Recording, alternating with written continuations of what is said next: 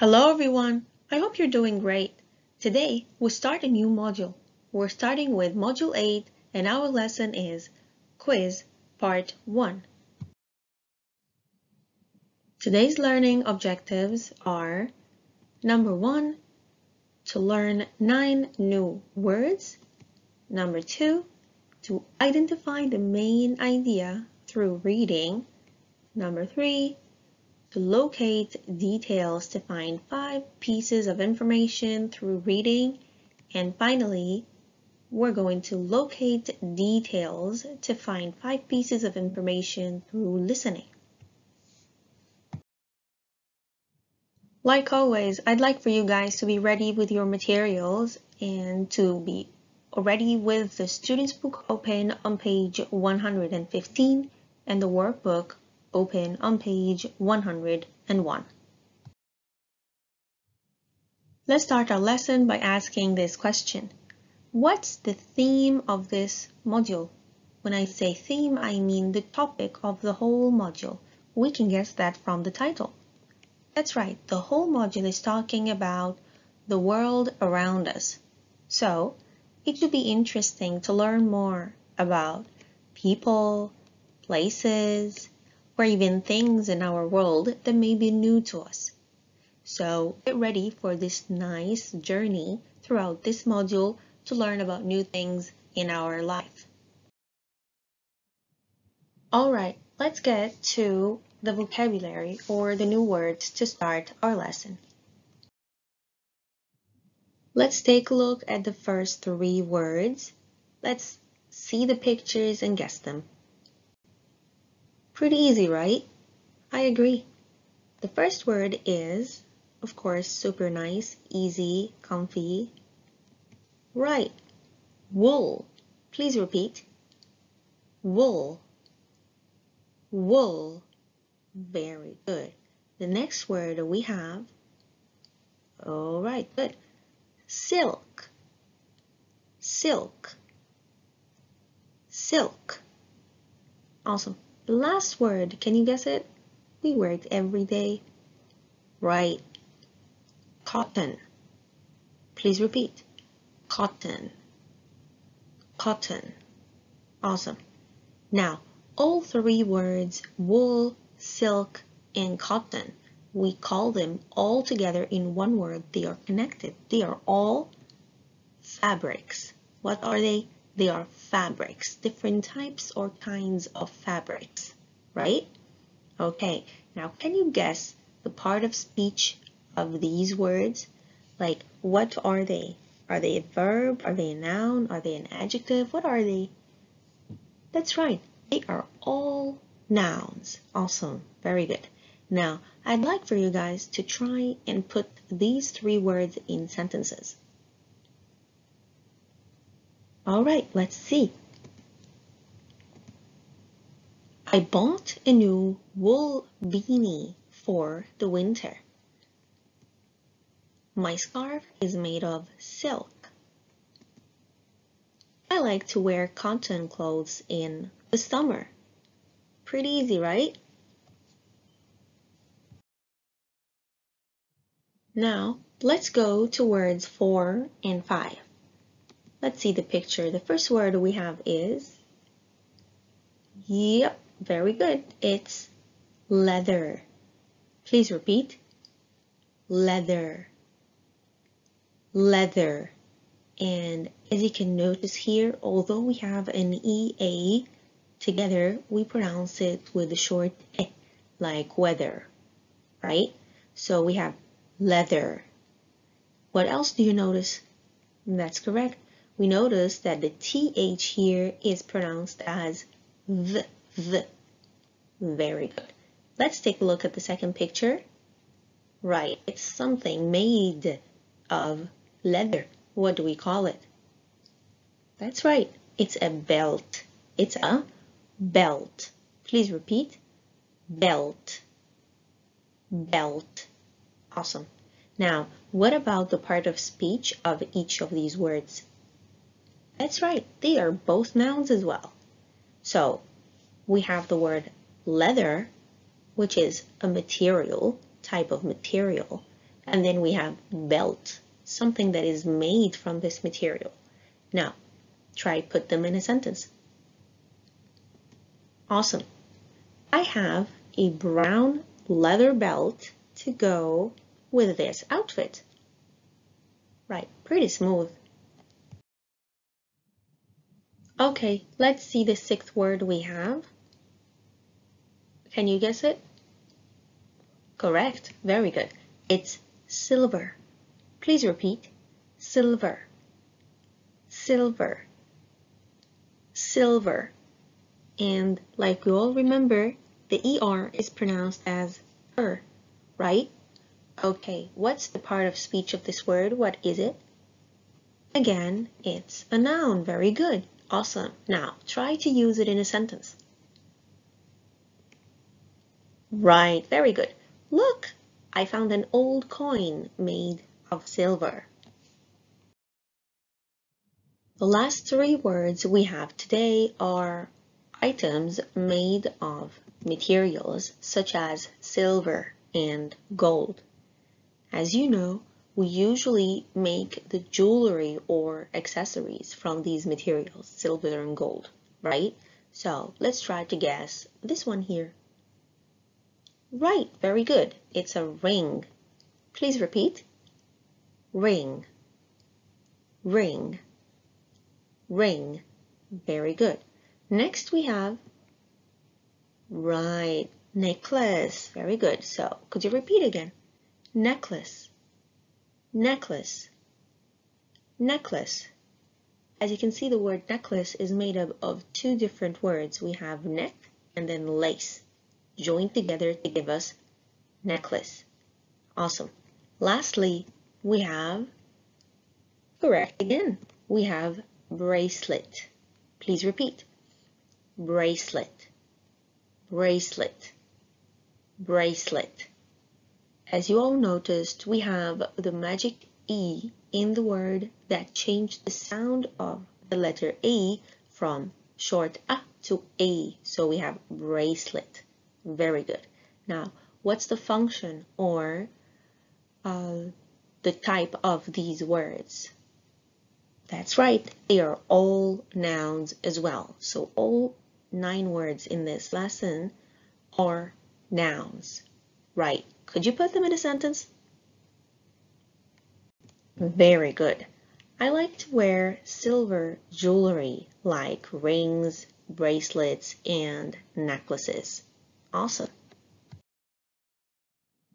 All right, now let's go practice and check our understanding. I'd like for you guys to go to the workbook page 101, exercise number 1. As you can see from the head of the question, we are going to read the questions, look and complete the crossword. Super easy, right? You'll just read the question, look at the picture, and then fill in with the correct spelling of each word. Now, pause the video for a bit, answer individually, and then check with me later. All right, let's check. So, number one is cotton. Number two, silver. Three, bracelet. Four, silk. 5. Leather 6. Necklace 7. Wool 8. Belt and finally number 9. Ring. Awesome job everyone. Good job. Now that we have an idea of today's lesson, let's get to the reading. Right, so now how about playing a little game Let's go to the student's book page 115, 115, and as you can see from the head of the question, we're going to do the quiz. We're going to read and circle, then listen and check our answers together. So, can you read and guess the answers by yourselves? Great. Pause the video for a bit, read answer alone, and then check with me later.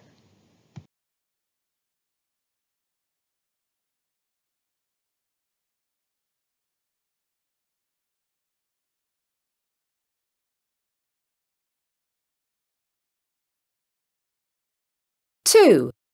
Do the quiz. Read and circle. Then listen and check your answers. Materials quiz. Then and now. 1. People made these with wood and used them to eat food like soup. C. Spoons. 2. People use this material to make sandals, clothes, and even buckets. C. Leather. 3. In 1849, people travelled to California to find this material in the ground. A. Gold. 4. We still use this material to build houses today. B. Wood. 5. People wear this around their waists. They usually use leather to make it. C. Belt. 6. Today, people use this material to make jewellery, forks, knives and spoons. A. Silver.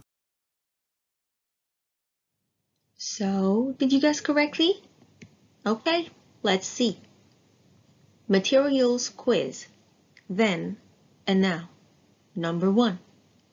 People made these with wood and used them to eat food like soup.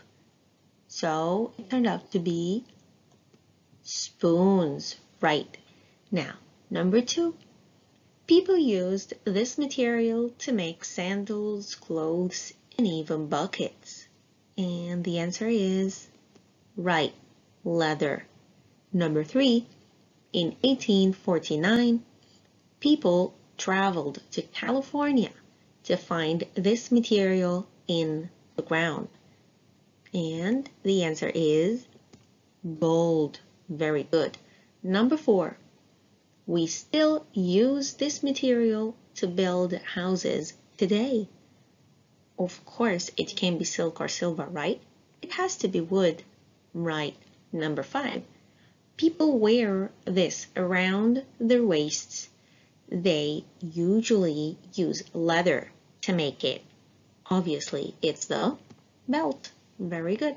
Number six, today people use this material to make jewelry, forks, knives, and spoons. And the answer is silver. Great job. Now, if you all guessed it correctly, then you guys are definitely awesome. Good job. All right, now let's move back to the workbook page 101, exercise number two. We're going to listen to two dialogues and write T for true or F for false. And as you all know, before doing any listening activity, we should read the questions first to get an idea of what we're listening to and what to look for, right? So in dialogue one, we have number one, Diane is showing Sue something she has made. And number two, Diane made the hat with different colored wool. And number three, Sue made a leather necklace. In dialogue two, we have number four, the gloves Kate is wearing are brown. Number five, the gloves are silk. Number six, Kate's mom bought the gloves at the shopping center. So I'd like for you guys to listen and then pause the video for a bit to answer and then check with me afterwards. Workbook, Module 10. Quiz. 2. Listen to two dialogues and write T for true or F for false. 1. Look at this, Sue. Do you like it? Um, well, I don't know what to say, Diane. Well, say something. It took me all weekend to make this hat. Oh, really? Do you like it? It's, um, really colourful. Did you make it with wool? Yes, in all the colours of the rainbow. I see. Oh, what's this thing here? It's a necklace, of course. I made that with leather. And I put some wool on it too. With all the colours of the rainbow again? Well, yes. That way, it matches the hat. Do you think Mum will like them? Ah, they're for Mum. How nice. 2. Hi, Gail. How are you? Hi, Kate. I'm fine, thanks. Oh, I really like your gloves. I love brown. Are they new? Well, actually, they're my mum's, you see. Are they silk? Um, I don't think so. I think they make them from cotton and recycled plastic because. Recycled plastic? Amazing. So they're eco friendly. Where did she get them? From that new shop that opened at the shopping centre? No, Gail. You can get them at any supermarket because they are gardening gloves. That's what I was trying to tell you. Oh, oops. Still, they're really nice, even for gardening. Oh, Gail.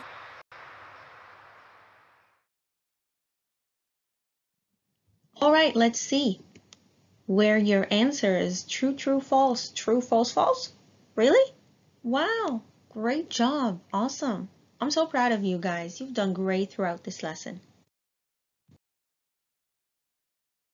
All right, that's it for today's lesson. I hope you guys learned new things about materials and what we use them for. And we'll see you next time. See ya. Bye.